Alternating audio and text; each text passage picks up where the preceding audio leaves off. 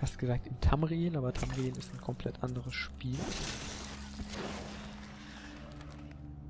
Doch, Tamriel ist, ähm, ja, das Scrolls-Reihe.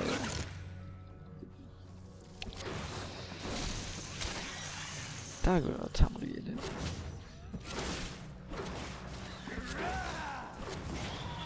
Auf jeden Ich Fall. trage zu viel. Oh, ich trage zu viel. So.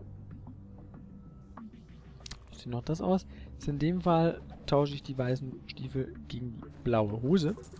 Aber da wir jetzt zu viel tragen, ähm, und hier ist noch eine Truhe, und da ist noch ein Kurzbogen drin, na gut, den lassen wir mal liegen, müssen wir jetzt natürlich ein bisschen was liegen lassen. Äh, allerdings sehe ich auf der Minimap, dass wir gleich durch sind. Was rennt hier rum? Hier ist noch eine Meine Taschen sind voll. Schuhe, die sind voll. Die Taschen. Gut, dann kloppen wir noch die letzten Gegner. Und verlassen den Dungeon. Teleportieren uns raus. Das ist eine kurze Zauberzeit, dass man eben tatsächlich die Gegner auch töten muss. Und wir kommen hier zum Eingang. Jetzt haben wir hier volle Taschen. Weswegen ich mich jetzt kurzerhand in die Stadt nicht zurück. Hey, ich will mein Teleportzauber, verdammt. Okay. Hm. Ach, stimmt, verdammt, der war, der war levelabhängig. Oh nein. Okay. Dann suche ich mal so ein Teleportfeld. Hoffe, dass ich da fix eins finde. Dass ich da fix eins finde. Müsste aber eigentlich da oben. Also hier sehen wir alles, was wir schon besucht haben, müsste eigentlich oben dann eins kommen. In der Nähe vom Friedhof. Daran. Tiert eins, lasst mich. So. Hier von den Grotesken mache ich mal noch nicht. Eure Verteidigung ist nutzlos. Mache ich mal noch nicht alle kaputt, sagte er und tötete alle.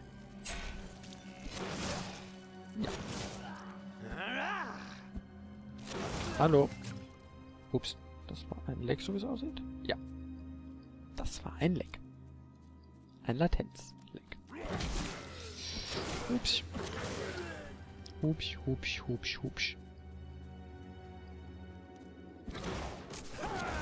Das ist auch so ein... Ja, ich sag mal, am Anfang war es ein großer Nachteil.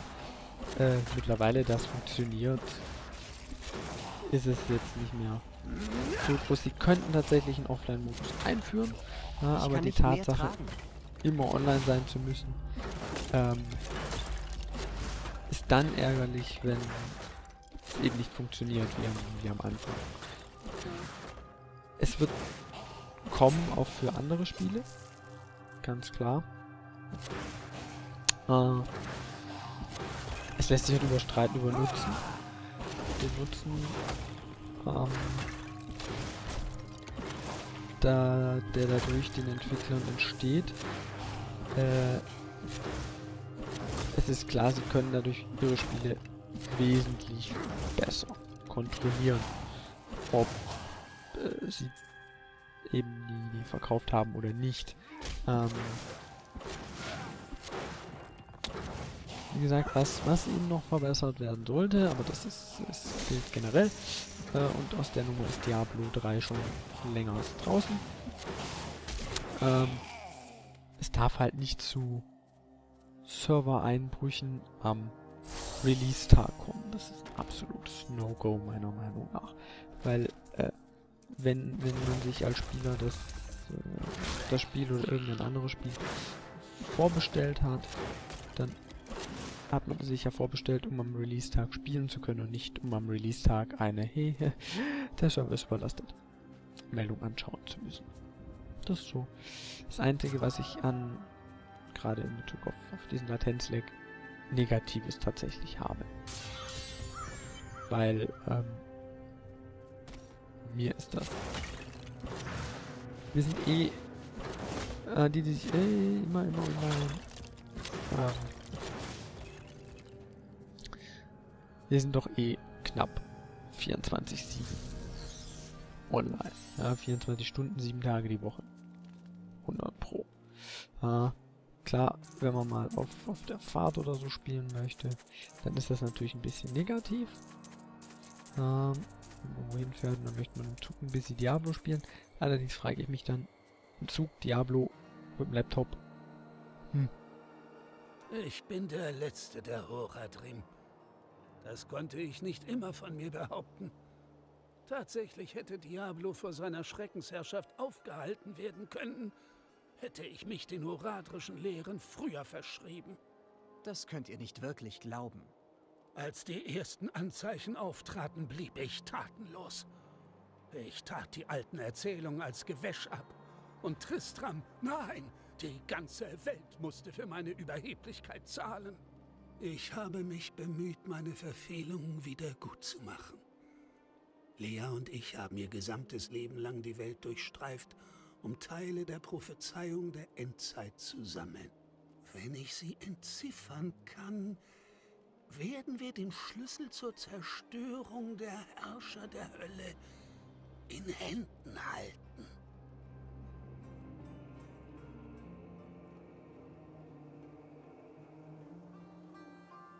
Ich bemerke große Zuneigung zwischen euch und Lea. Ich weiß nicht, wie mein Leben ausgesehen hätte, hätte ich sie nicht großgezogen. Oh, es muss für Lea schwer gewesen sein, einem alten Mann zu folgen, auf seiner wahnwitzigen Suche nach den Geheimnissen, die Herrscher der brennenden Höllen zu vernichten. Doch obwohl sie so manches gesehen hat, glaubt sie noch immer nicht ganz an meine Aufgabe. Es ist verständlich. Sie hat noch nie etwas wie Diablo und seine Brüder gesehen. Die Prophezeiung der Endzeit steht in den horadrischen Folianten geschrieben, die mir von meinem Vorfahren Jared Kane überlassen wurden. Diejenigen, die ihren Sinn erkennen können, sehen in ihr eine Warnung vor der endgültigen Invasion unserer Welt durch die Hölle. Geschrieben wurde sie von vielen zu unterschiedlichen Zeitpunkten in der Weltgeschichte und in verschiedenen Teilen Sanctuarius. Alle bekannten Versionen der Prophezeiung sind unvollständig. Ich habe die letzten 20 Jahre versucht, sie zu vervollständigen. Ich bin gewiss, dass in ihr die Antwort darauf zu finden ist, wie die Herrscher der Hölle besiegt werden können. Ihr sagt, Diablo trieb Leorik in den Wahnsinn? Leorik leistete der Besessenheit durch Diablo Widerstand. Doch die Anstrengungen schwächten und verwirrten ihn. Als sein Sohn Albrecht entführt wurde, um als Gefäß für Diablo zu dienen, verlor er endgültig den Verstand. Was geschah, nachdem er zum Skelettkönig wurde? Er befehligte eine Armee der Toten tief im Inneren der Kathedrale und diente nun dem Herrn des Schreckens, dem er sich lebendig noch widersetzt hatte. Viele Abenteurer hatten versucht, den Skelettkönig zu besiegen und dabei versagt. Es war Aiden, Leoriks ältester Sohn, der das Monster tötete, zu dem sein Vater geworden war. Wieder mal ein bisschen Hintergrundinfos, ein bisschen Hintergrundgeschichte, was der Opa so alles gemacht hat. Und dann geht's hier auf dem Friedhof weiter. Ähm, Ups, Entschuldigung. Ich wollte nicht über ihr Grab... Grab... Grabstiefeln. Ähm... Jetzt gehen wir mal in die Krypta. Es ist so, wenn ich mich recht erinnere, auf diesem Friedhof gibt es mehrere entweite Krypten. Und ähm, in einer davon befindet sich der Altar. Den müssen wir jetzt finden. Dämonen sind dafür bekannt, ihre eigenen Jungen zu verzehren, wenn keine andere Nahrung zur Verfügung steht. Ihr Nachwuchs, die Kobolde, können mitunter fliehen und verbünden sich mit anderer Höllenbrut. Sie bewegen sich in aggressiven Gruppen, immer bereit, sich auf ahnungslose Reisende zu stürzen und sie mit ihren winzigen, messerscharfen Zähnen zu zerreißen. Allerdings ist es so, wenn ich das richtig weiß, dass ähm, die in Anführungsstrichen richtige Krypta zufällig ausgewählt wird. Das heißt, wenn es mal die, also sagen wir, es wäre die hier, in der wir uns befinden, dann kann es sein, dass es beim nächsten durchspielen. Erneut diese hier ist oder dass es eine der anderen ist. Ja, also das ist so ein bisschen zufallsabhängig, welche da die richtige Krypta ist. Ähm, es lohnt sich trotz allem, die anderen Krypten zu erforschen. Denn ähm, neben Gegenständen, Monstern und so mit Erfahrungspunkten gibt es hier noch was, das ich gleich zeigen werde. Nachdem ich die Kobolde weggeplatzt habe. Auch. Und das Wissen angehört. Nein, das ist noch eine Ausfledermaus. So. Die dramatischen Ereignisse in diesem Land haben viele Geister zurückgelassen, die nicht in Frieden ruhen und nach Vergeltung streben. Diese Geister üben wahllos Rache an allen, die ihren Weg kreuzen. Denn sie glauben, dass das Blut der Lebenden ihnen das Leben zurückgeben kann, um das sie gebracht wurden. Wir haben hier unten nämlich einen großen Raum, in der erstmal leer scheint und der erstmal vier Tore besitzt. Jetzt haben wir hier in der Mitte ein Seelengefäß. Ich bin in einer Falle gefangen. Und jetzt geht es einfach nur darum, eine Minute irgendwie hier drin zu überleben. Vollkommen egal wie. Ähm, das Seelengefäß hat Gegner beschworen oder beschwört konstant Gegner. Und da muss man eben schauen, dass man eine Minute überlebt das Ganze. Sieht man unten im Eck, wie weit man schon ist. Ja, also, oder was heißt im Eck? Rechts am Rand sieht man das Ganze. Ähm, wie lange man es schon geschafft hat zu überleben. Da haben natürlich einige Klassen es ein wenig einfacher. Ich halte mich jetzt aber an der Strategie, hey, alles was hinter mir weit genug weg ist, kann mich nicht töten. Und normalerweise müsste ich sterben. Nach Ablauf der Zeit oder kommen einfach keine neuen. Ich bin mir da gerade nicht sicher. Ich glaube, die... Okay, sie sterben nicht. Es kommen einfach nur keine neuen. Ähm, dann hat man das Ganze überlebt, muss man das Seelengefäß zerstören. Da ich jetzt gerade nicht weiß, ob das mit einem Ladebalken verknüpft ist oder nicht, möchte ich erst noch ein paar davon aus dem Weg räumen.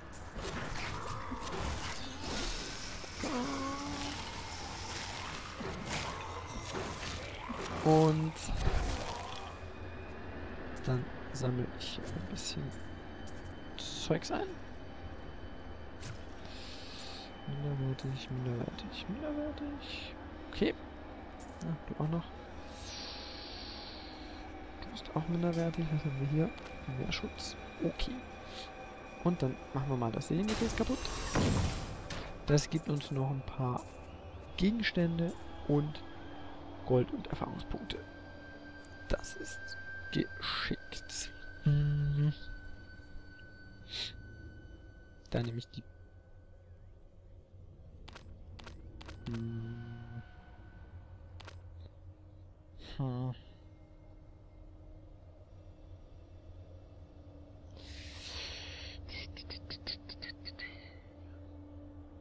Nee, ich lasse das so.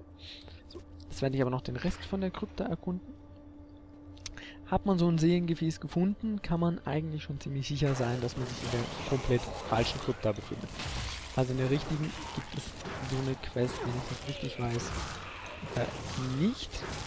Die, die, sind quasi nur als eben warst du so frei und hast die falsche Krypta äh, gefunden und erkundet. Ähm, du kriegst von uns eine Belohnung. Oder so nach dem Motto, hey, du bist in der falschen Krypta, vielleicht sogar freiwillig. Ähm, komm, kriegst, kriegst eine kleine Belohnung, kriegst einen Keks. Ja. Wobei man für den Keks noch ein bisschen was machen muss. Ähm,